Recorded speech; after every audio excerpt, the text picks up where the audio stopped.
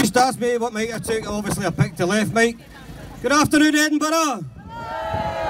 Before I start my speech, I'd like anyone in the crowd with a Palestinian flag to come to the front of the stage here, please. Brothers, if you come to the front of the stage, anybody that's got a Palestinian flag, would you come to the front of the stage, if you don't mind? On the 17th of April, over 1,500 Palestinian political prisoners held in Israeli jails, many without charge, began a hunger strike to protest at their unlawful and cruel treatment. This includes the use of torture during interrogation and solitary confinement. Numerous cases of gross medical negligence in the case of acute health issues, alongside the routine denial of family visits. On the 6th of May, today, as strikers enter their 20th day of the strike, a day of solidarity is taking place across the United Kingdom. And outside the Israeli embassy in London, we stand up for the rights of the prisoners and act of their solidarity. Please give these brothers and sisters a round of applause.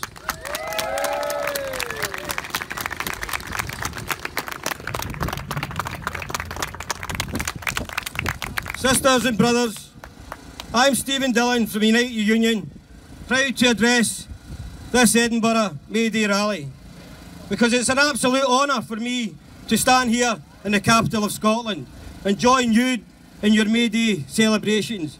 It's your day, the Workers' Day, and a public holiday in the UK since 1978, won by Labour and the trade union movement. It's a day when we hold events across the world standing in solidarity to celebrate our achievements, who we are and what we stand for. And we demand change based on our idea that a better world is possible and we will fight like hell to deliver it. Our movement has always been international. From the 1860s in Chicago, when the unions fought for the eight-hour working day in response to the increasing power of capitalists during the first industrial revolution.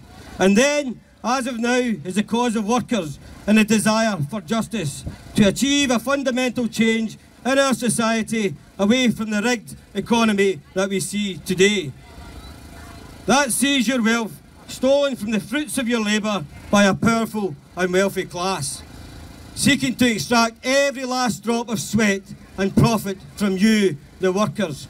Friends, it's time we put together, it's time we uh, power back in the hands of the real wealth creators in society, the working class, and those labour power, that labour power is vital to our society. Because comrades, today more than ever, you must stop and you must think, what kind of society do you want to live in? My view is that our class, the working class, deserve better, with economic and social justice.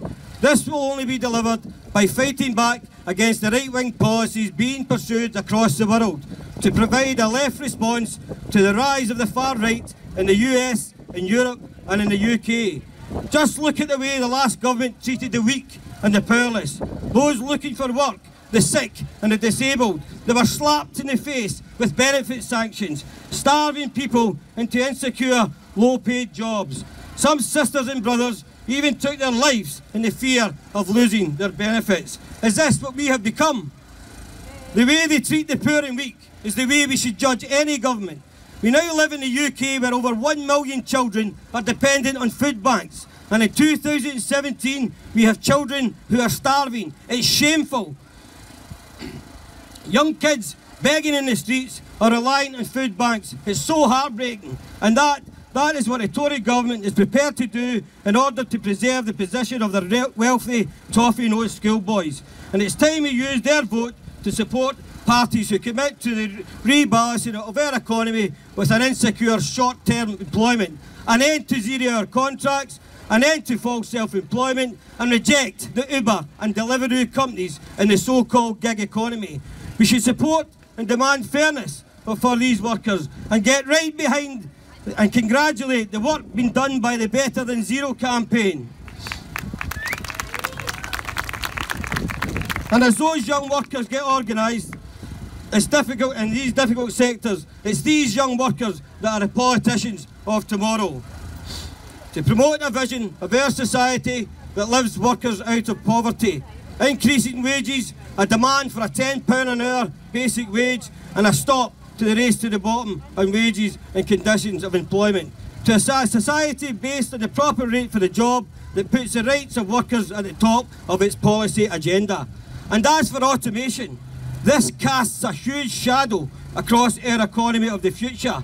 We must respond to the real threats to jobs in many sectors that are and will be affected by automation by placing the protection of workers' pay and conditions at the front of our response, with support for an economy that is for the many and not just a few, built upon secure, skilled jobs and underpinned by decent pay and conditions.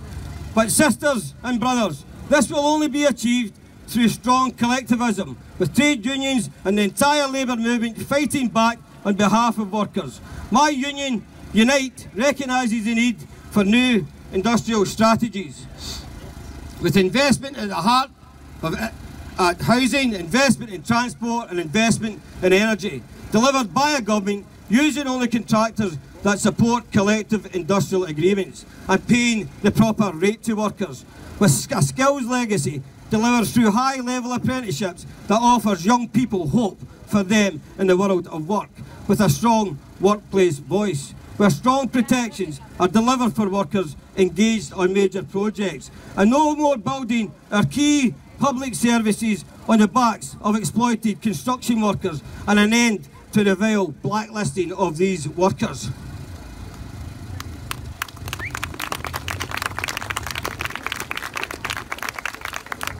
And comrades, I'd like to finish my contribution on a spirit of solidarity. Solidarity with working people across the world. And there can be no greater injustice suffered than that of the people of Palestine, with families living in what amounts to an open prison in the fear of sleep. Children shot on a daily basis and the land being annexed by an aggressive, oppressive Israeli government. Friends, an injury to one is an injury to all. So let's continue to fight against all injustice and stand shoulder to shoulder with the cause of labour across the world. And please remember these words. Of this I am certain, and all the rest is lies. A flower once blooms, then dies. Thank you.